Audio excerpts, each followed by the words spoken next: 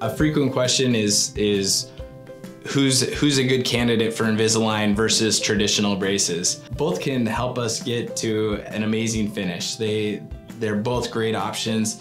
Uh, traditional braces have obviously been the gold standard for years and years, but Invisalign has really come and and developed into an excellent tool to to help us move the teeth.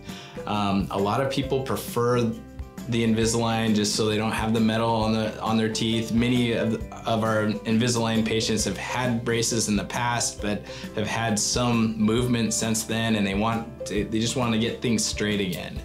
As an adult, I knew I did not want traditional braces. I just did not want to feel like I was back in my teenager days.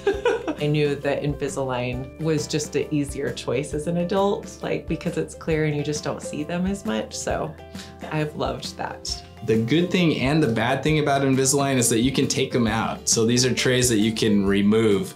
And, and so a, a, great Invisalign patient needs to be committed to wearing those Invisalign trays 22 hours a day um, otherwise, we're gonna have a compromised result. The good thing about Invisalign, you can take those trays out, you can brush and floss normally, um, you, you can eat without the, the trays in, you can, um, you can clean the, your teeth without the trays in. I've loved Invisalign. It's nice when um, I can take them out when I'm gonna be talking a lot with people. Like I don't do that very often, but if I am going to be having a conversation for a long time, I take them out just for that 30 minutes or so because it's just convenient. When I do first put in an Invisalign tray, I kind of have a lisp and I just started this tray so you can tell that I have um, it's not that big of a deal. Nobody notices it's just really me. So I would not recommend Invisalign for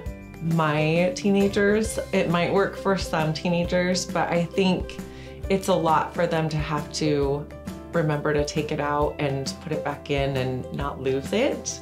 So I feel like normal braces, that's just like normal for that age group to have braces and it's just so much easier because they can eat with their braces and they don't have to think about taking it in and out. So I think for teenagers, the traditional way is the better way, but some may think otherwise. Invisalign is a, a viable option for, for a significant amount of our patients.